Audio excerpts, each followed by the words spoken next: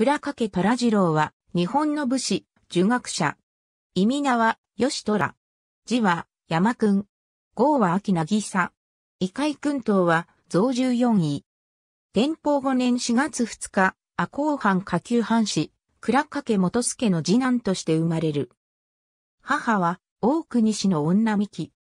天保10年に父すすけが死去するも、嘉永元年、15歳の折に、藩主森家と縁故があった小林家を継ぎ、小林虎地家を称した。その年、藩主、森忠則の生死、森忠弘の侍族、作動役として、広間詰めの側近として抜擢され、江戸で塩谷当院に指示した。折しも、赤穂藩では、天保の大飢饉から続く天災により、財政が急暴しており、森酒税家出身の家老、森家臣、ついで、森うねめ屋出身の森三将が、緊縮政策を行ったが、ことごとく失敗。森家当主も旧大藩主、中願が溶接したため、急遽弟の忠則が継いだものの、当初から家老たちに実権を奪われていたために政治に関心を持てずにいた。これがため、忠弘の下で財政改革を推す動きがあった。忠弘は安政4年、18歳の若さで溶接したが、その異名により、同年12月、24歳で勘定奉行に任命された。だが、下級藩出身の虎次郎の抜擢は家臣の子、森家、常や、藩の領袖、村上信介ら上級藩士らの反発を招き、彼らは江戸藩邸にいる忠則に強硬な談判を仕掛けた。虎次郎が改革の第一歩として、そばめの解雇を要求するなど、忠則自身の後期粛清を訴えていたために、忠則は改革の中止を決断。改革派の家老、森家族は失脚し、虎次郎は責任を一身に受ける形で藩を追放された。赤穂藩を追放された虎次郎は、最初大阪で藤沢東の門を叩いたが、村上による虎次郎への残言を重んじた東は、これを誇示。江戸に戻り、再び当院の門人となる。その後、津山藩士、河合徹左衛門のの紹介で、領内鏡村の王将や中島氏の援助を受け、私塾、旧医学者を開校した。当時津山藩では、経費捻出策として、富くじを発行していたが、虎次郎は富くじ論を上司して、これを批判。これが功を奏し、文久2年、津山藩お抱えの儒者として召し抱えられた。その間、なお、松枝虎五郎、ついで、倉掛虎次郎へと改名している。合わせてこの年、国事終戦係を任じられ刑に赴き、諸国の志士たちと接した。一方、虎次郎が藩を追放された後の赤穂藩は再び、酒税一派が実権を握ったが、藩を二分した闘争によって財政はますます、急暴した。文久三年、闘争はいよいよ奮撃した、西川増吉ら急進派十数名によって、か、常、村上漁師が暗殺される事態に発展した。西河原襲撃者は脱藩し、土佐藩にかくまわれた。統制は急進派に傾き、復権した家族は事件を不問として、村上一族を追放。一族中殺の恐れを抱いた村上信介の自子、川原楽のタスクは、藩王目付に訴えたが拒絶され、悲嘆のうちに切腹した。これにより、村上一族ら旧保守派は復讐のために動き出すこととなった。この事態に家族は、虎次郎に調停を依頼。虎次郎は、土佐藩を説得し、襲撃者の帰還を認めさせた。帰国した襲撃者は入牢したがほどなく解放され、長州藩に渡って倒幕活動に身を投じた。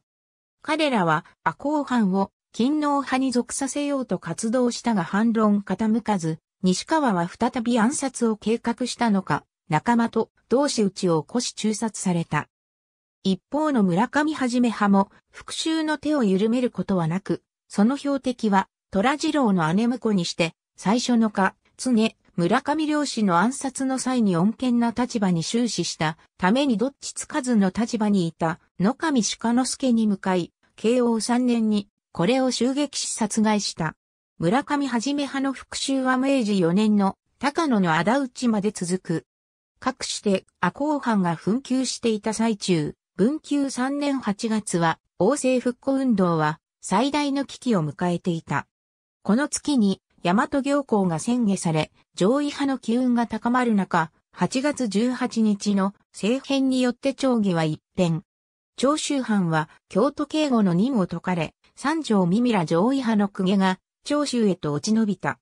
この事件において、津山藩主、松平慶林は病に伏しており、老臣、海老原信濃が各藩との折衝に当たった。喜び林は、池田慶徳、池田茂生、八須賀持明など、自身の兄弟たちと協議し、幕府に対し、毛利高近親子への見跡を許すよう連勝、出しているが、虎次郎は、副使として江戸に赴き、坂井忠重、板倉勝清らに面会している。翌文治元年、金門の変によって窮地に立たされた長州藩に対し、幕府側は長州政党に向けた動きを見せていた。その最中、8月25日に瀬戸内海沖に停泊していたイギリス戦場で銃が暴発し、一部が津山藩領となっていた小豆島の住人が流れ玉によって死亡した事件が発生した。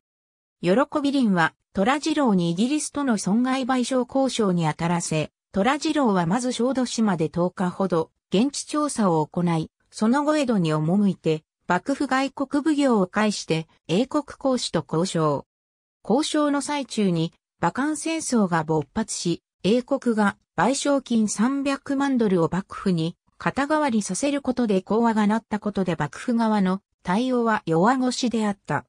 だが、虎次郎の粘り強い交渉によって、翌慶応元年4月23日、英国側は銀貨200枚をもって賠償とすることで合意した。長州政党の最中、虎次郎が対外交渉のため江戸に滞在していたのは、一説には前年から長州政党派兵に反対し、還元を繰り返していた虎次郎をこの問題から遠ざけたからだとされている。津山藩が勤王派であった虎次郎を徴用していたのは、前藩主にして、徳川家成の第十五子である松平聖民によるところが大きかった。だが、津山松平家着流の喜び林が当主になり、各道が江戸詰めとなる頃には、砂漠派が勢いを取り戻していた。翌慶応2年からは、反省から遠ざけられるように、江戸判定裁判を命じられている。翌慶応3年、在勤を終え、津山に戻るも政治に参画する機会はなかった。津山上質鶴丸公園にある、倉掛虎次郎検証費慶応4年、すなわち、明治元年になると、鳥羽、伏見の戦いで、幕府軍が敗退し、徳川義信は大阪城を退去し、江戸へと逃げ帰った。情勢が完全に勤労派に傾くにつれ、支給的な津山藩及び、喜び林に対する圧力は日増しに高まっていった。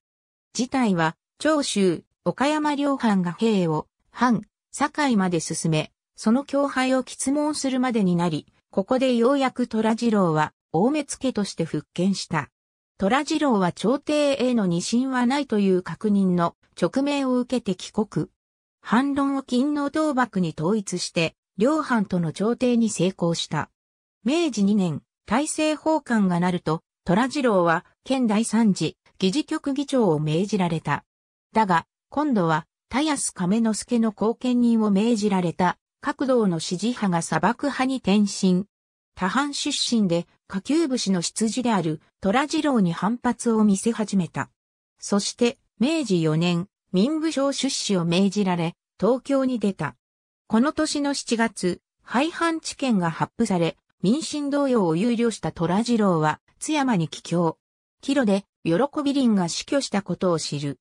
すでに藩内は格道派に占められており、虎次郎は8月12日夜半、信仰のあった川瀬茂雄を訪ね、その帰路に着こうとした玄関先で何者かによる待ち伏せに遭い、単銃の一撃を胸に受け死亡した。襲撃者の正体は、現在も判明していない。去年38、森家半祖の墓がある、津山本源寺に葬られた。戒名は、牧王印伝文明堂県大古寺。朝廷から祭祀料として、金70両が可視された。四女が残され、そのうち三女が野上鹿之助の維持、イサム次郎と結婚し、倉掛家を継いだ。明治31年7月4日、14位が追贈された。昭和17年12月13日、津山上質鶴線公園に、旧津山藩士族の平沼木一郎の碑文による検証碑が建立された。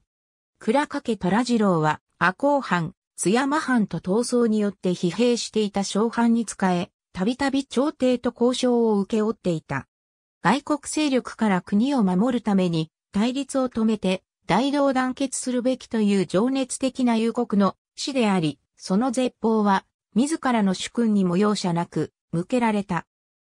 赤穂藩主、森忠則にはそばめを排するよう進言し、第一次長州征伐出兵問題で反論に押され、幕府側につこうとする津山藩主、松平慶林に対しては、上皇院在天の神霊、以下ばかり、ご短足遊ばさるべくと存じ立て祭り公と痛烈な論調でその日を説いた虎次郎が仕えた赤穂藩、津山藩は共に優柔不断でリーダーシップに欠ける藩主や、藩内が家臣内の圧力から2分し、立場を変えながら、延々と内部構想を続けていること、そして赤穂事件に橋を発する、暴力による安易な解決を図ろうとする単慮さなどで共通している。虎次郎は才能が認められて抜擢されるも、支給的な上級藩士一派による反動と、遠征的な主君に煙たがられたことで藩内で孤立し、必要以上に敵を作ってしまった。赤穂藩では、村上信介の次男、川原楽のタスクが、藩主における先輩格にあったとされ、それゆえに、村上一族は、か、常、村上漁師暗殺の黒幕は、虎次郎であるとして、虎次郎を誹謗する覚書を残している。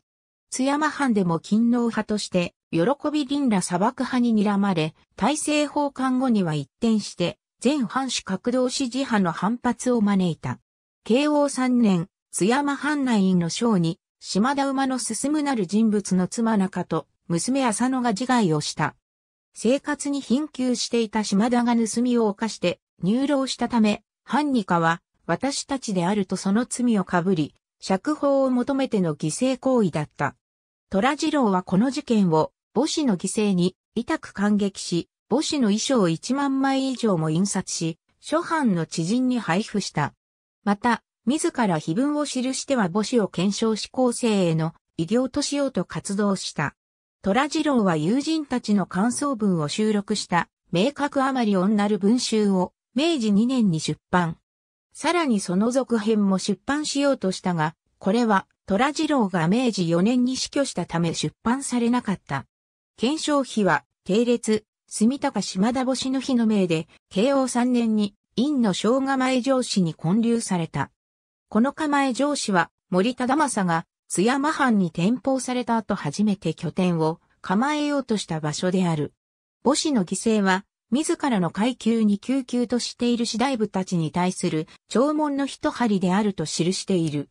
二度も武士階級の壁に阻まれて不遇を囲っていた虎次郎は現状打破を試みて母子の犠牲を美談にせんと躍起になっていた。この活動が諸藩の死に健在を示す形になったのか、慶応4年の復権へとなった。写真の倉掛虎次郎は三葉、葵の紋付きを羽織り、右手には乗馬用の鞭がある。これらはいずれも喜び林から配慮したものである。